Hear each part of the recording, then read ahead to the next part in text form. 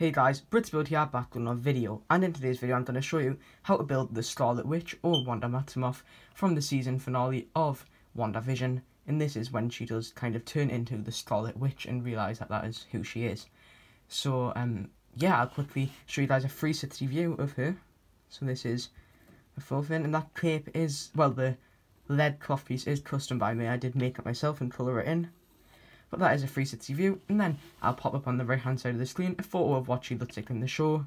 It's a little bit blurry because the episode just came out, so I had to actually take a photo of it as opposed to getting a screenshot or a photo online, so that is why these photos are a little bit blurry. But yeah, without further ado, I'll show you how to build her, and I hope you find this video useful. So first up, the leads do come from Hawkeye, from um, Captain, no not Captain America, Avengers Age of Ultron, and there's a photo of him on the right hand side of the screen.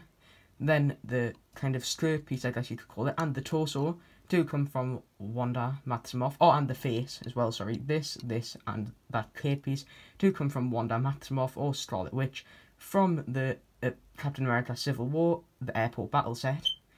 And the torso is just flipped around. I'll quickly show you that. This is what the torso usually looks like. If I can get this heavy off piece off without pulling it off the stand but I did just flip it around and put different arms in. So if you don't know how to do that, you just simply pull the arms out. You, I would normally pull them backwards, then pull them out like that, and then put other arms in, but make sure the torso is flipped around. And now, these arms are not from that torso. These arms come from a Hawkeye minifigure from the newer Avengers Truck Takedown set. However, lots of minifigures do come with tan arms. And then the gloves I got from an Iron Man minifigure. The gloves that she wears which are basically just red hands, which also come from many other fiddlers. And finally, the hair, you can also get in the same set as the torso, the straight piece, and the face.